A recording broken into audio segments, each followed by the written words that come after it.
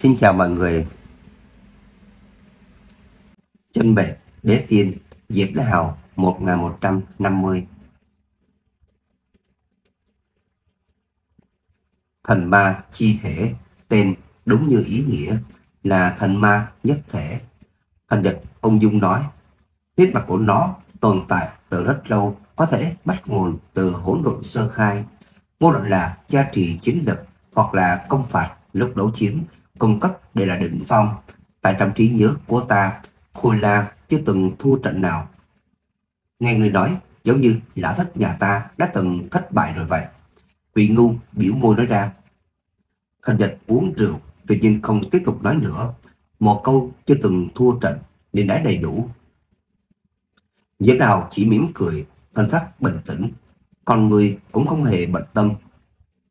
Từ đời đến cuối, anh cũng chưa từng khinh thường, bất luận. Một con trai đại đế của hồng hoang nào anh đã chân chính cùng bọn hắn chiến đấu. Thì cũng biết sự đáng sợ của con trai đại đế, thế nhưng một kẻ cho dù đáng sợ đến đâu cũng khó lay chuyển được đạo tâm bất bại của anh. Đế đã từng đồ sát qua, anh sẽ còn sợ con trai đại đế hay sao? Truyền thuyết về thánh thể đệ từ trong núi thay biển máu mà có được. Sắc trời dần muộn, bóng người dần dần rút đi hẹn nhau sau 9 ngày đi vào huyền tinh xem chiến. Cũng y như những năm qua, luôn có nhiều kẻ muốn đến ngây ngốc. Thí dụ như Tía Vân Hoàng, thí dụ như Quỷ Ngô, liên tục hô to gọi nhỏ, nhất định phải qua đêm tại Ngọc Đức Phong, nhất định phải mượn vợ của Diệp Đào dùng qua đêm. Xét thấy nhóm người tài của Chư Thiên để có sức sống, Diệp Đào thân là hoàng giả đệ sở, cũng có chút khéo hiểu lòng người. Trời cao bao nhiêu miễn cho người ta bay lên cao bấy nhiêu. Tới khi màn đêm gần buông xuống, Ngọc Lương Phong mới rơi vào yên tĩnh. Chúng nữ đều ở tại đó, như chỉ có thiếu cơ tích băng để đến ban đêm để không cần Diệp Hào động thủ, chính nàng liền tự đem mình phong ấn. Tịch nhanh còn luôn muốn giải khai phong ấn cho nàng, nhưng cũng có cách nào. Phong ấn của cơ tích băng chính là cấp đế đạo, cho dù là nàng cũng không phá nổi. Huynh thực sự muốn cùng Khôi La tự chiến sao? Sở Linh nhẹ giọng hỏi. Trốn được lần đầu tiên, không tránh được cả một đời. Diệp Đào cười nói, lấy cầm đau khắc, cắt lấy tượng của chúng nữ.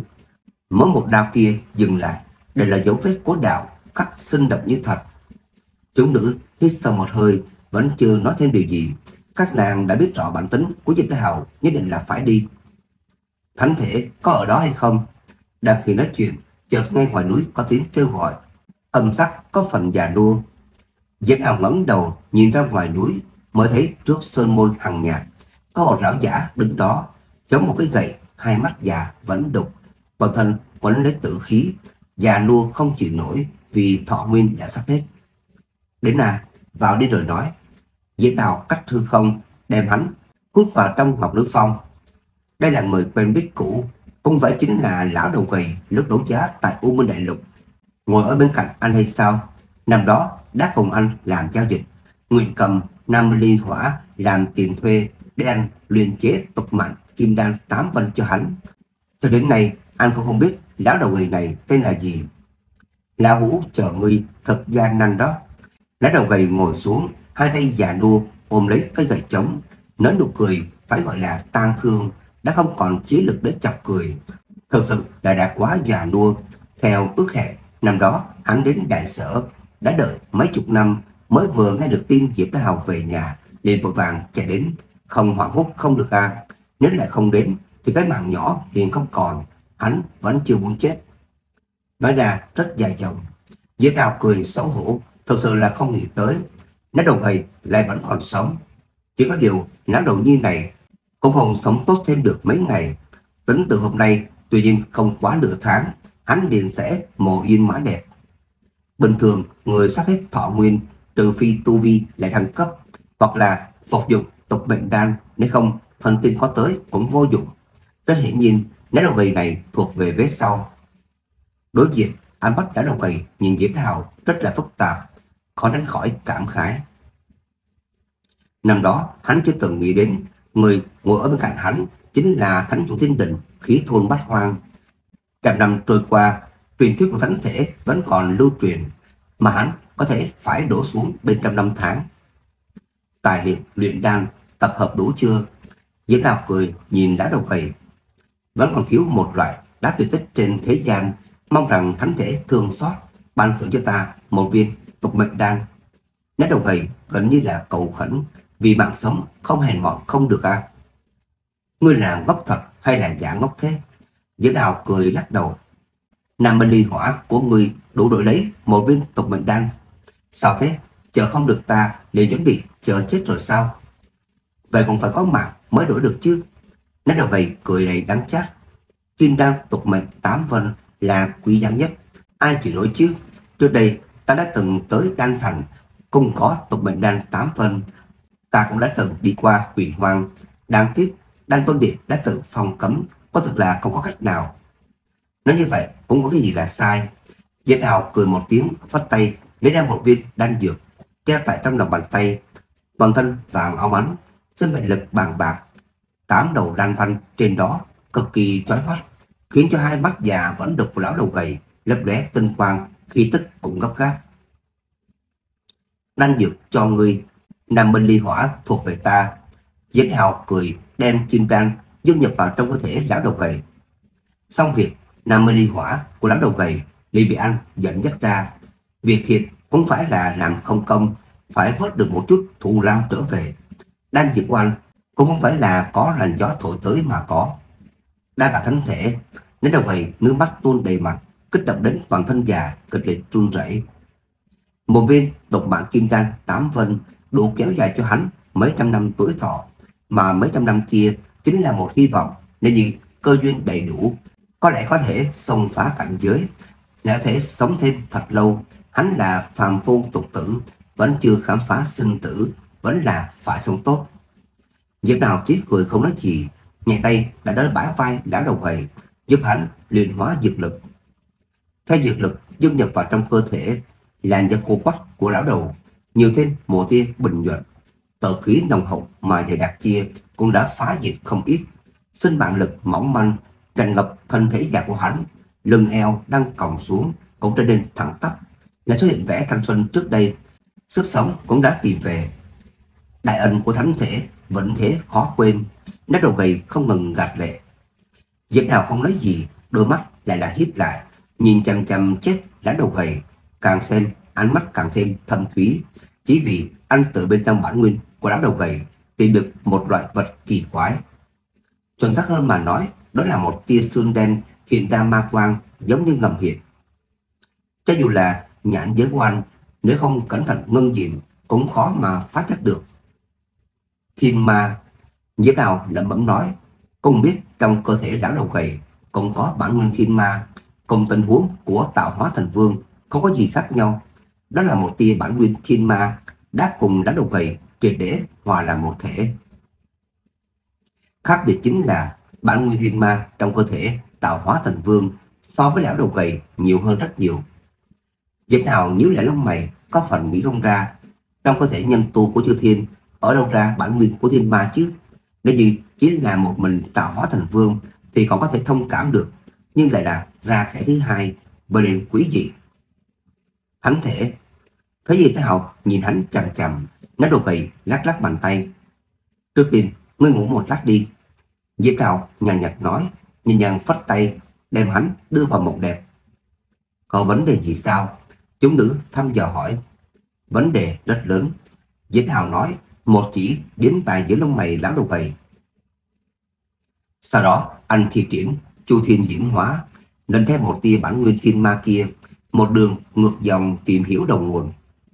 Từ trong cõi u minh, anh giống như trông thấy ma vụ đen kịt một màu, mãnh liệt cuồn cuộn, che lấp ánh mắt của anh, khó mà nhìn thấu. Hoặc là nói, có lực lượng thần bí che giấu phiến ma vụ kia, ngăn cản nhìn lén. diễn Hào lạnh giọng quát lớn một tiếng, gia trì thần lực tại bên trong chu thiên diễn hóa, cố gắng đạt tới phá vỡ lực lượng thần bí kia, từ đó nhìn lén được nhiều bí mật hơn.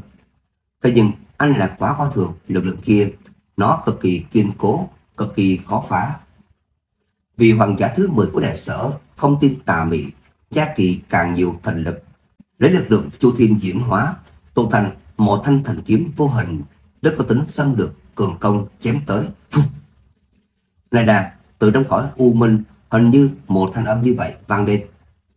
Lực lượng thần bí bị công phá, ma vụ đen nhánh mà mãnh liệt kia chậm đã hiến lộ ra một đôi mắt to lớn, đen ngòm ngoài dày đặc, hiện ra ánh sáng đầy ma khí. Ánh mắt kia còn có máu tươi nhỏ giọt, có lần ngưng nhìn, còn có thể thấy được gì được hủy diệt diễn hóa tại trong hai mắt, sao trời tịch thủy, bạch trời băng nít, toàn bộ thế giới đều đang sụp đổ, tại trong luân hồi hóa thành tịch diệt. Diễm Đào phun máu, ngã xuống, hôn mê tại chỗ. Diễm Đào, chúng nữ vội vàng vọt lên, đem anh đỡ lại. Đã thấy thánh thể quan, rất nhiều nơi đã bị vỡ ra, có máu tươi tuôn trào, vén đẹp một cái chớp mắt, toàn thân Diễm Đào liền đẫm máu. Gặp phản vệ, sở huyền nghĩ cũng thèm nghĩ, xuất ra đế binh ngọc như ý, cường hãn trấn áp Diệp Hào. Sau đó, một sợi đế quang dung nhập vào trong cơ thể Diệp Hào, truy tìm lực phản phệ, muốn lên nó xóa bỏ. Có đế binh trấn áp, trạng thái của Diệp Hào tức thời ổn định, nhưng sắc mặt của anh vẫn tái nhật như cũ.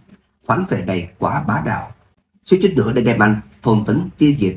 May mà nơi đây có đế binh, nếu không hậu quả khó mà lường được. Tôi từng người lão đầu như này, tịch nhân hừ lạnh, lòng bàn tay có thần mang hội tụ, chuẩn bị một trưởng bổ nát lá đầu gầy. Nếu không phải vì hắn, thì dễ nào cũng sẽ không bị như thế. Tịch nhan, sở định lúc này ngăn lại, nàng là hiểu rõ nhất, lá đầu gầy kia cũng không hề biết cái gì, là dễ nào ngâm cuồng muốn thôi diễn. Cũng không thể bởi vì dễ nào bị phản phệ mà giết người vô tội.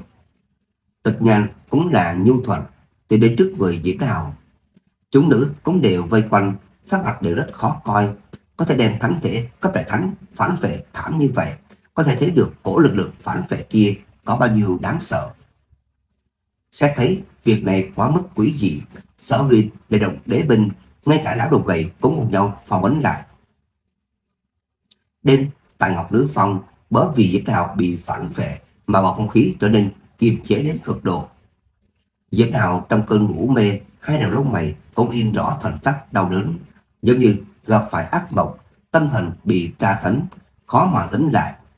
Trong bông lung, anh phản phất như lại gặp hai mắt to lớn kia, máu đang nhỏ xuống, có ma khí lấp lóe u quang, từng đầu tơ máu tung hoành trong đó rất là chói mắt. Chúng nữ vẫn còn ở xung quanh để dùng bí pháp nhìn lén diệt đào. Amas sở huyền là thâm thủy nhất, mượn nhờ đế binh từ sâu trong linh hồn diệt đào tìm được một tia xương đen giống như ngầm hiệt mà lại đã cùng nguyên thần diệt đào hóa thành một thể. Thiên ma, sở huyền thân sắc khó coi, lần nữa người động đế binh muốn càng quét một tia bản nguyên thiên ma kia. Quý vị chính là bản nguyên thiên ma khó mà xóa bỏ, nó đã cùng diệp đào hòa là một thể. Xóa bỏ nó chính là xóa bỏ diệp đào. Đó chính là diệp đào không nghĩ ra, nàng cũng nghĩ không ra, ở đâu ra bản nguyên thiên ma vậy chứ? Sau đó chúng nữ lại thi triển rất nhiều bí pháp. Đáng tiếc cũng khó mà đáng diệt được bản nguyên thiên ma. Trong lúc bất đắc chỉ, chúng nữ mang theo Diệp Hào cùng lão đầu gầy đi thiên hình môn. Đông Hoàng Thở Tâm thấy vậy, đại bi khẽ nhíu lại. Tại sao lại như thế chứ? Tịch nhanh chỉ là đầu gầy, chính là đang thôi diện hắn mới hợp phản phệ.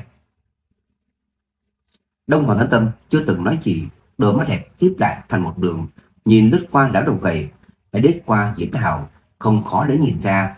Trong cơ thể hai người đều có ẩn giấu một tia bản nguyên thiên ma.